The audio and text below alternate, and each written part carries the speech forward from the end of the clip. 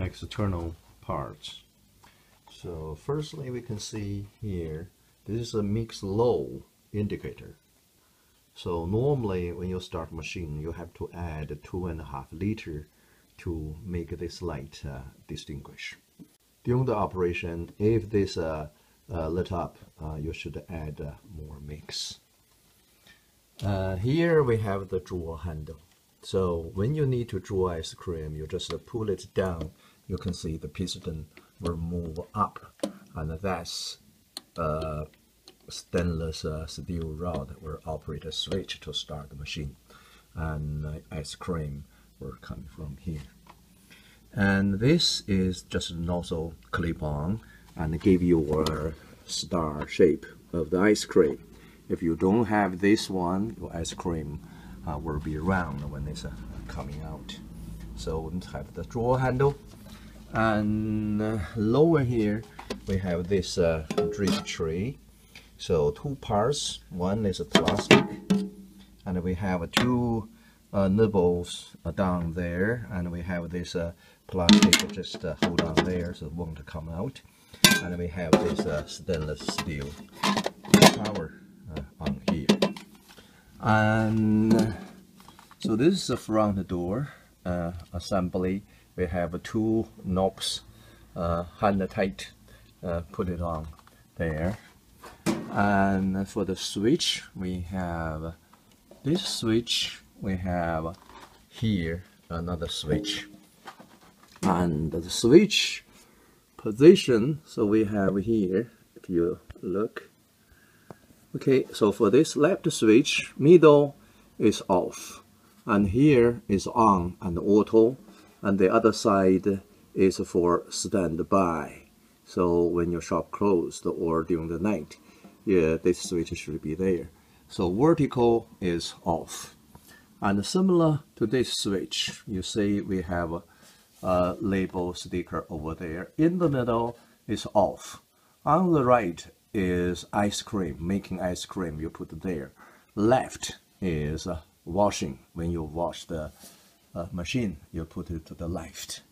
So uh, off position, both switch vertical. And if you want to wash, you just put this switch to the wash position. And when you make ice cream, so this switch should be put to auto.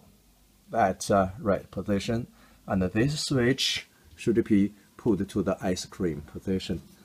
During the night, you don't need to move this one, but you just change this switch uh, from auto to standby. So that's for during night operation.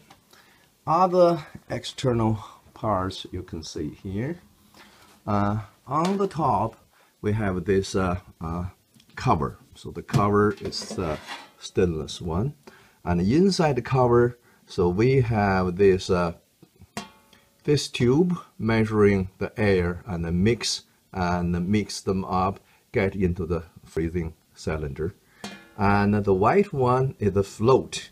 This float link to the indicator tell you when you need to add new mix. Uh, another part is this.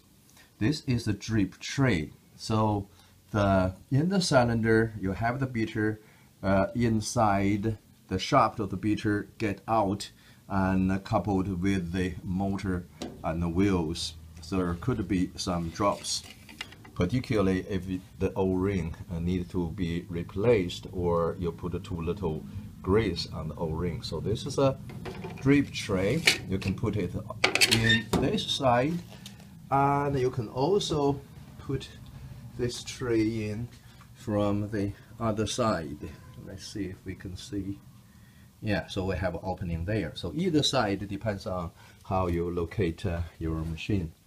And uh, you can see a little bit maybe there's a wheel there inside. So this is uh, external. So you know the air were coming out from behind of the machine. And the air will get in from lower part of this machine. So we have a, two compressor inside. So uh, we're going to have another video showing inside parts. So that's external parts for Taylor 150 ice cream machine.